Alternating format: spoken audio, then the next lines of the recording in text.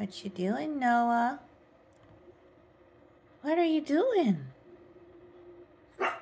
What? You found a new toy? Your tail isn't a toy. Well, have fun.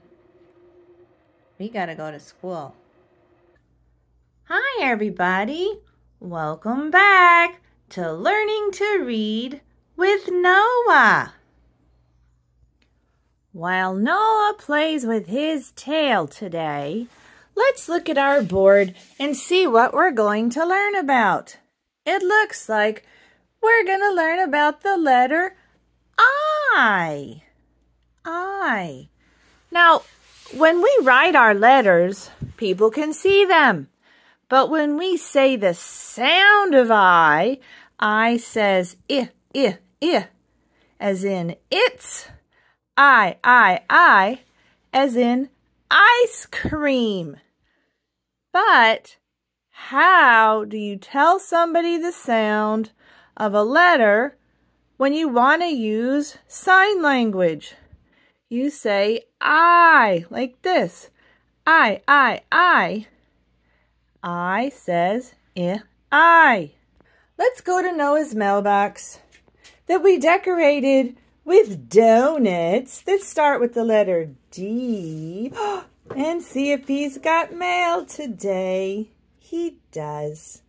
Let's see what's in here.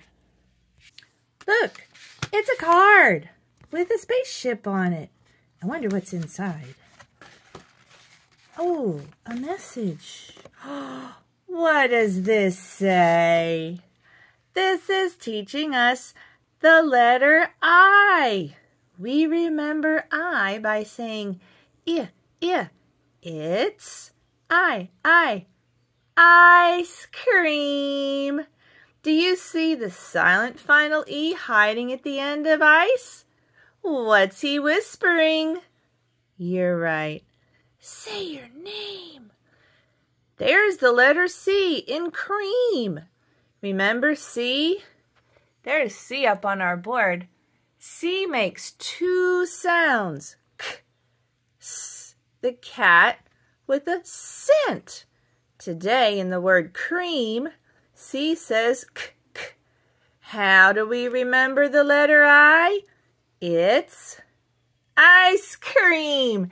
And if you hold all your fingers down except for one, this is I. I, I, I. It's ice cream. That's sign language for I. Well, hi, Noah. What you doing? What? You got tired?